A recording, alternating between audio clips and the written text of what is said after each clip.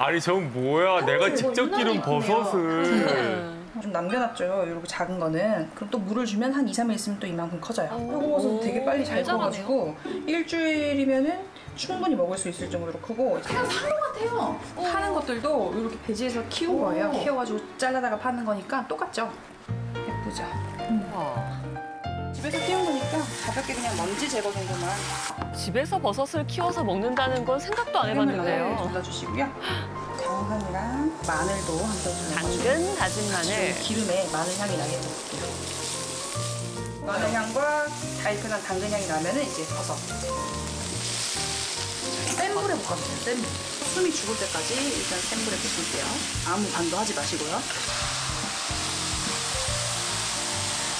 이제 버섯 숨이 죽었어. 이렇게 노릇노릇해지고 어, 숨이 다 죽으면 간은 지금 하시는 거예요. 소금 반 큰술 정도, 음, 매실청 한 큰술. 센 불을 유지하고 있어요. 칼칼한 맛을 위해서 해주세요. 물을 끄고 참기름 마지막에 고소한 맛을 내기 위해서 한.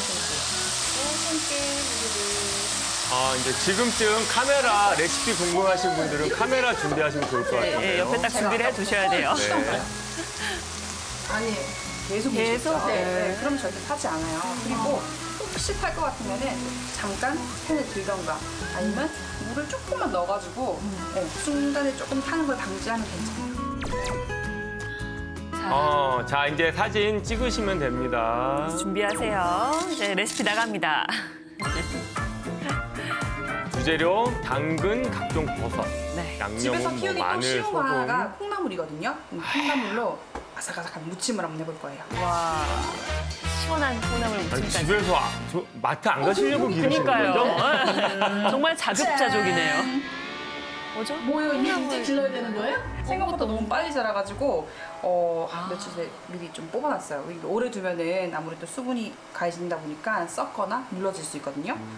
며칠 걸려요? 어, 네. 어, 저렇게 잘하네. 우와. 여기 콩나물 이렇게 제가 좀 뽑아놨, 뽑아놨거든요.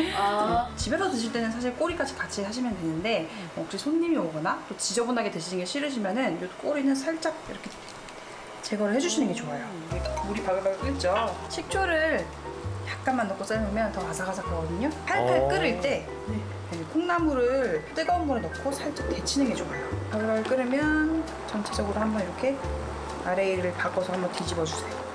콩나물 잘 양을 얼마나 하냐, 콩나물. 굵기가 어떠냐에 따라서 조금 다른데 보통 2분에서 3분 정도면 괜찮아요.